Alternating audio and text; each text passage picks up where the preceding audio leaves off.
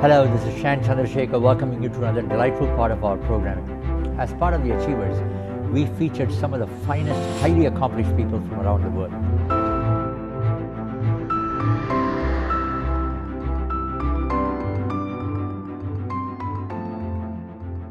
Welcome to a special on Sir Garfield Sobers, whose legendary exploits on the cricket field earned him the reputation as the greatest cricketer ever. He played 93 tests in his legendary career, scoring 8,032 runs from 160 innings at an average of 57. His 26 test centuries included an innings of 365 not out against Pakistan, which still stands as the highest individual score ever made in the test match. Over now to Chandrasekar and Sir Garry. Sir Garry, welcome to the program. Thank you very much, Anne. It is really a great pleasure to be here. You know, you don't need any introduction at all. You're one of the most lovable players in the world, and, and around the world, cricket fans, you know, adore you. Now, tell me something. Uh, at, at, the present time, from what I understand, you're very busy uh, being a consultant with the Barbados uh, Tourism Board, I believe. Yes. Um, I have been working with the Barbados Board of Tourism now for probably some 10 years, 10 to 11 years. Um, just before I went back from, from Australia back to the West Indies, I started working with the board over a period of four months. And I did that for about three years before I went back to Barbados. And I've been back in Barbados now, what, some eight years, and I continue on from there. So I've been with the board now about 11 years, and I'm certainly enjoying being with the board because my good friend, the Honourable Wes Hall, is the Minister of Sports and Tourism. And um, at one stage, I was his boss, and now he's my boss. But we don't look at it, as you say, as boss and, and um, an employee. And, and, knowing the game of cricket, you know, there is no such thing as boss or employee because, uh, you know, the, the, you, you change, you shift your hats so quickly with each other, especially when you captain a team. Am I correct? Because there's great team spirit. Yes, well, that is something that we have always tried to uh, instore into our players, uh, um, team spirit. And I think this is something that has helped the West Indies team over the last 14 or 15 years to maintain the, the, the, the um, position in world cricket as number one team in the world because of the team spirit and the way that they've played together. Wesley Hall, for instance, you know, he was one of the fastest bowlers in the world. You know, he had the record at, at times, you know, over 100 miles an hour uh, as a paceman. Now, tell me, as in his capacity as a cabinet minister right, right now, is he still fast on his feet?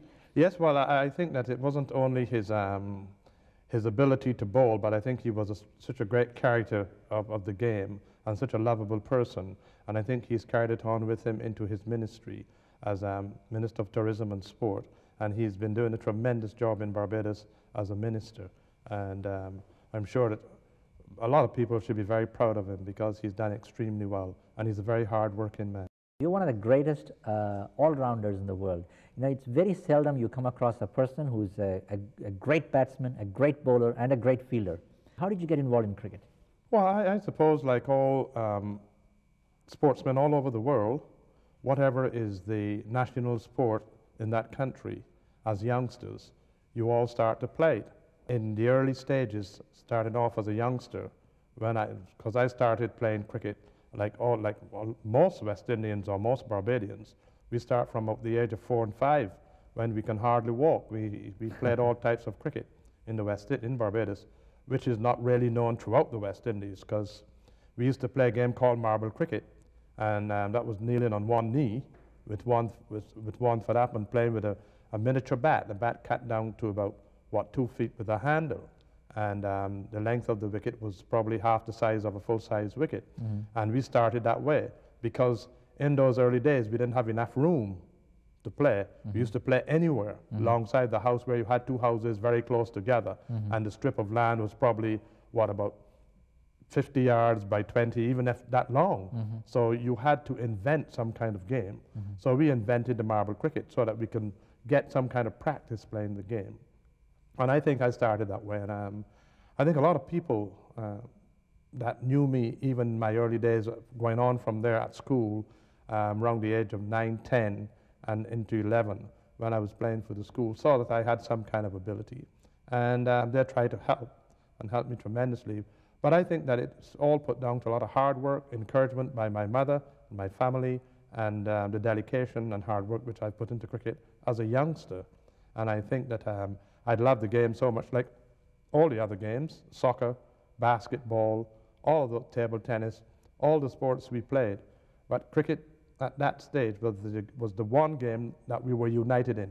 And it was the only game that had an international flavor to it and an opportunity for a youngster, particularly if you come from a humble background, to, to have the exposure of being able to travel overseas and to play in, in various countries like England, Australia, um, India, Pakistan, and other um, cricketing nations, which one would not have had in, in any other sport. And if you weren't good enough, you might not have had the opportunity to travel because from the humble background that one came from.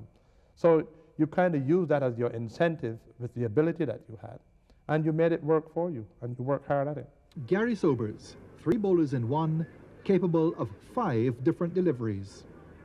The in swinger, which comes in to have England's Ray Illingworth leg before wicket at the Oval in 1973. Out, that must be out. A late swinger from Garry Sobers. And bowls England's Phil Sharpe. Oh, and he's bowled him. The outswinger, which finds the edge of Frank Hayes' bat for a catch to slip. It's out. Good catch. Fine catch, Clive Lloyd. And Sobers. Then bowling spin to Illingworth. Followed by the googly. Beautiful googly and got. Yes, he was called it slip. And the orthodox leg break to England's Keith Fletcher for the rest of the world in 1970. Caught him. A good delivery by Sobers. The ball spinning from leg stump, finding the outside edge of Fletcher's bat. Sir Garry Sobers, showing a few of the many facets that made him such a phenomenal all-round cricketer. Tell me a little bit about the training. You know, you have now trained some of the topmost cricketers in the world. Uh, tell me about holding the ball. You're a left-arm, you know, uh, spinner. Uh, in addition to that, uh, you, you do both in swinging, you bowl out swingers, and googly and Chinaman. Now this is the grip for the Chinaman as you can see.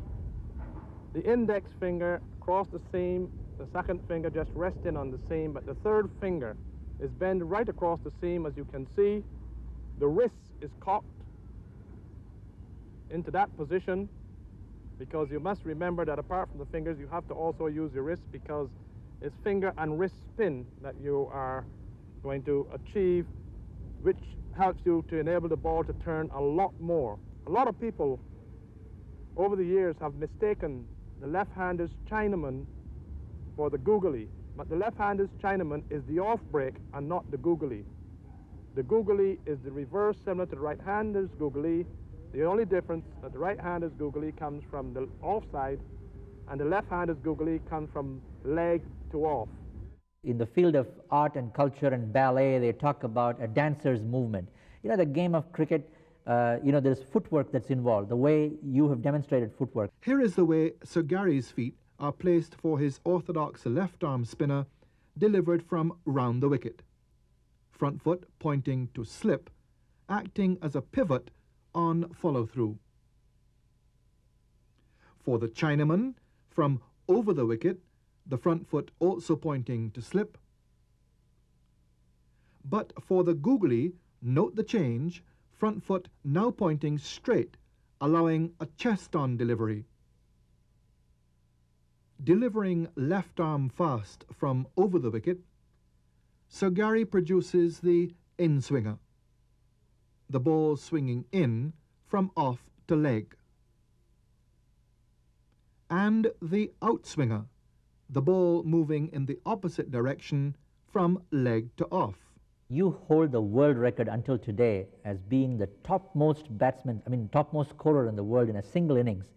Uh, you scored 365 single-handedly against on, in a test team against Pakistan. Do you remember that game? Well, um, let's say it wasn't single-handedly really because I had Conrad Hunte at the other end, and, oh, and, and it was very unfortunate that, that Conrad got ran out because I'm sure if Conward didn't get ran out, that he probably would have got the record before me, and I might not have, and I might not be in position to do that because we would have had so many, so many runs on the board that the, cap, the captain would have declared by the time he'd got his record, and I would not have able to had, had the opportunity to do so. But Conrad got, got ran out, and um, I was able to go on to score the 365, which obviously had given school children a day for every, a run for every day of the year. Isn't so it's something that they can always remember. Um, but it was, you know, it was one of those things because when I started my career back in 1954, a lot of people have seemed, seemed to have forgotten that I started as a bowler. And I had played some, what, um, 20 innings or even more than that. I don't recall because I never do keep statist statistics of my innings or my test matches or my runs. Anything that I refer to is something that I heard other people has brought up to me and have explained. Like if I go to a function, somebody will give a statistics of me and they keep reminding me of what I've done.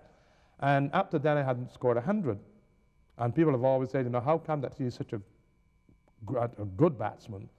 And everybody's talking about him as a batsman. He's never made 100, and he's played over, um, what, 10, 15 test matches for Gunner started bowler. So when I got that 365 against Pakistan in 1959, it was my first test 100, and it went on to be a record score. Isn't that something? That's amazing. Congratulations again. Thank you. Tell me, when did Garfield Sobers become Sir Garry Sobers, the Sir title? When did you acquire that? Oh, I think that was back in, in 1977, I think. Um, I, again, you see, as, as I said to you, I don't ever keep these things in my mind to remember them or when they did happen. But, um, But how did you feel when that happened? oh, I think it was a great honor. I think that um, the excitement and the feeling that one gets from such a, an honor, which is probably the greatest honor that you can get in your in sport in your lifetime, is something that you can you can never express. You can never tell people how you feel. It's something that is within, in, within you. Um, you can only say how happy and how you you you um, so over, overjoyed and overwhelmed by the success of the honor of the knighthood, which has been placed upon you. But it's, it's a lot more than that. The feeling is a lot deeper than that. It's something that one never can never explain. You know, but all I know is that I was very, very happy and very honored to be knighted by the Queen. That's wonderful. I'm sure that there were uh, millions of people around the world who were very thrilled when you, uh, when you were knighted by the Queen. Yes, well, I, as people have always said, it was, it was very appropriate because, um, um, fortunately or unfortunately, the Queen was in Barbados at the time, opening one of our big um, national insurance building. And she thought then at the time, seeing that she was dead, that it would be um, quite fitting to um, place the knighthood on me. And it was done on the Garrison Pass. So this is where, the, this is the race course where the horses ran. And people know that I've been so fond of, of, of horses and I have, you know, had the odd bet on, on horses that they thought it was a very appropriate place to be knighted. And, you know, and there were, oh, nearly half of Barbados was on the, on the past there to, to, wa- to witness um, the ceremony, and which was a great honor and a great pleasure for me to be, for, for it to be done in, in, in my hometown. I think that um, a lot of people really had appreciated it. They had the opportunity of watching me being knighted in Barbados. This is wonderful. Uh, where do we go from here? What, what can we expect from Sir Garry in the coming years with respect to um, cricket, for instance? You know, are you going to be playing any advisory role uh, in, the, in the field of cricket to other countries? Uh, you know, Well, consultation? well, I don't, I don't, I don't know. Um, I'm always willing to give my services and to help in any way I can, or wherever, whenever I can, and wherever I can, because I got a tremendous amount out of the game, and I would like to put something. And I've always feel that I should put something back into the game.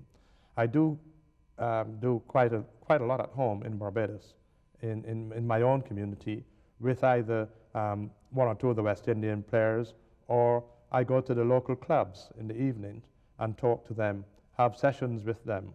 And sometimes I'm invited into places like India or Australia or anywhere else, or if I'm in England or anywhere and one needs any help, um, they're always welcome to come to me. I'm always willing to help and to give um, advice wherever I can.